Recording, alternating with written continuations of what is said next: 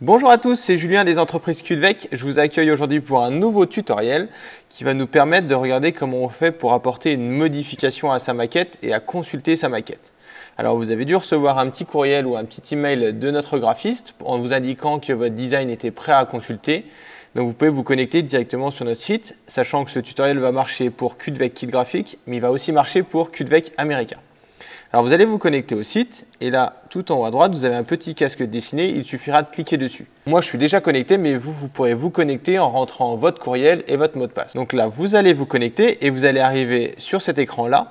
Vous allez retrouver vos maquettes en descendant un petit peu plus bas. Donc là, dans notre cas, on avait notre maquette qui se trouve à l'intérieur vous allez pouvoir consulter votre maquette, la dernière maquette à jour. Donc on a déjà eu deux maquettes. Moi je suis bien sur la deuxième maquette. Vous pouvez la regarder en cliquant dessus pour la voir un petit peu plus grand. Voilà, on va retrouver toutes nos informations de votre véhicule qui se trouve là, le numéro de la commande et tout le design qui comporte votre kit d'autocollant. Si jamais tout vous convient, vous avez juste à valider ici. Si quelque chose ne vous convient pas, vous allez pouvoir demander une modification à votre graphiste, tout simplement en cliquant ici, demande ta modif. Et là, vous allez pouvoir indiquer toutes les modifications à faire.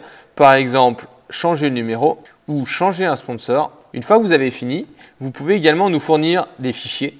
Donc par exemple, moi je voulais que mon logo soit mis, il soit Julien Welch, c'est celui-là, et il n'a pas été mis au bon endroit et j'avais oublié de le fournir. Vous pouvez le fournir ici. Attention, pensez bien à nous fournir des fichiers en .ai ou en .eps. C'est des fichiers qui pourront être redimensionnés à l'infini, qui ne pixeliseront pas lorsqu'on va les imprimer. Une fois que vous avez fait votre modification et que vous avez inclus votre logo, vous avez juste à appuyer sur envoyer. Là, le graphiste a bien reçu votre commentaire et il va pouvoir vous préparer votre nouvelle maquette. Généralement, cela prend entre 24 et 48 heures avant de recevoir votre prochaine maquette. Vous allez pouvoir la retrouver dans Commande en cours.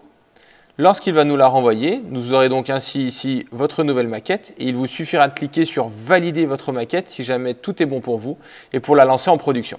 Merci beaucoup